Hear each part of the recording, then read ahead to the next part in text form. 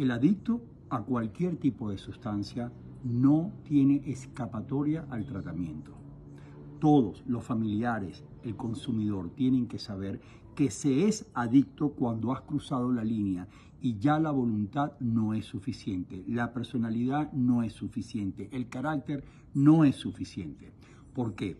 Porque las áreas del cerebro que se vieron alteradas por ese consumo continuado de un químico alteró su eh, función original. Entonces el control de impulsos, la voluntad, eh, la reflexión, la retentiva, el juicio de lo bueno y lo malo está totalmente empañado, totalmente alterado por ese químico, así como una persona con sobrepeso ve alterado en la barriga ve que su barriga se adapta a ese abuso de comida. Igual las neuronas, igual el sistema nervioso de ese adicto. Entonces, el adicto va a requerir un tratamiento, una ayuda profesional para recuperar esa voluntad y una vez que logra la abstinencia y logra la sobriedad, podrá seguir su camino confiado en su voluntad. Hasta entonces va a requerir ayuda.